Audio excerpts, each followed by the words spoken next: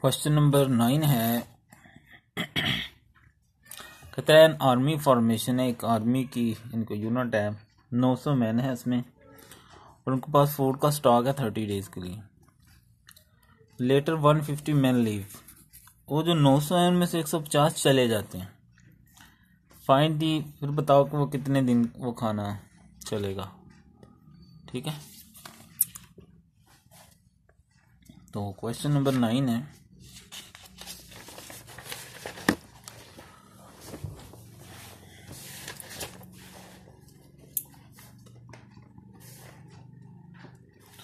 मालूम हमने करना है डेज़ दूसरी चीज़ क्या है? मैन तो क्या कहा उसने?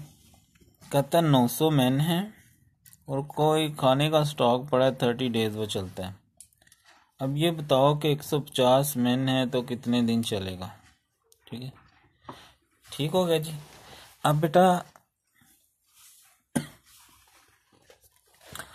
गौर से देखिएगा, उसने हमें क्वेश्चन में कहा कि 900 मैन है थर्टी डेज़ के लिए। तो ये सवाल इम्पोर्टेंट भी है। कहता वन फिफ्टी मैन लिव 150 आदमी चले गए। इसका मतलब है 900 आदमी से 150 चले गए हैं। मतलब 150 यहाँ नहीं आना। ये उसने बताया कि इतने बंदे चले गए हैं। इसका मतलब है 900 थे एक सौ पचास चले गए तो माइनस कर लो। तो ये आ गए हमारे पास सात सौ पचास। तो ये आएँगे सात सौ पचास। डेढ़ सौ नहीं लिखना। मैंने जानबूझ के लिखा ताकि आपको पक्का आ जाए कि डेढ़ सौ उसने कहा चले गए इसका मतलब माइनस करके देखेंगे तो ये बच गए बंदे। ठीक है, ये एरो हमेशा ऊपर ही होएगा। अब हमने इसका प्रोपोर्शन देख लेना अब मैन क्या हो रहे हैं? नौ सौ सात सौ कम हो रहे हैं। कम हो तो एरो हम नीचे को लगाते हैं। अब बंदे क्या हुए? कम हुए। बंदे कम होने से सिचुएशन जेन में लाए कि कोई खाना है जो उन्होंने खाना है। खाना वो खाना है उन्होंने, और बंदे कम हो गए। तो पहले जो थे, तीस दिन लगते थे।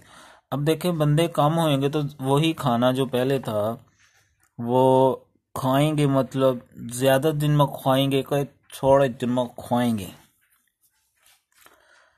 तो ज़ाहिर बात है, अगर बंदे कुछ चले जाए अंदर से तो ज़्यादा दिन वो खा सकते हैं। ठीक है ना? कॉमन सेंस का।